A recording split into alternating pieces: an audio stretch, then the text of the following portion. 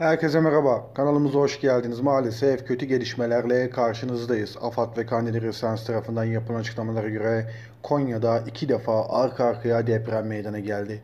Peş peşe Konya'da arka arkaya iki defa deprem meydana geldiği ifade edildi. İlk depremin şiddeti 4.1, ikinci depremin şiddeti ise 4.4 olaraktan açıklandı. AFAD tarafından yapılan açıklamalarda.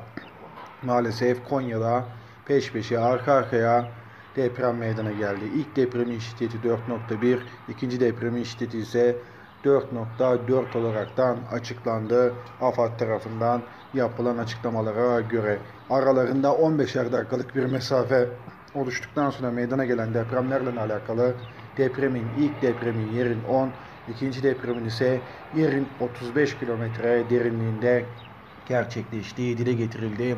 AFAD tarafından yapılan açıklamalara göre.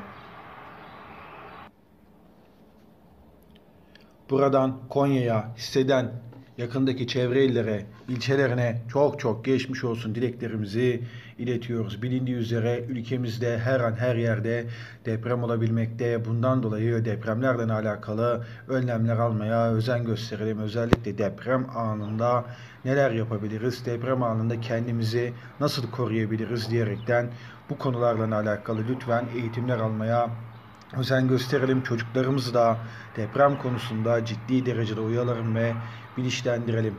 İnşallah ülkemizde bir kez daha bu şekilde depremler meydana gelmez diye ummaktayız. Tekrardan Konya'ya hisseden bütün çevre ilçelere geçmiş olsun dileklerimizi iletiyoruz.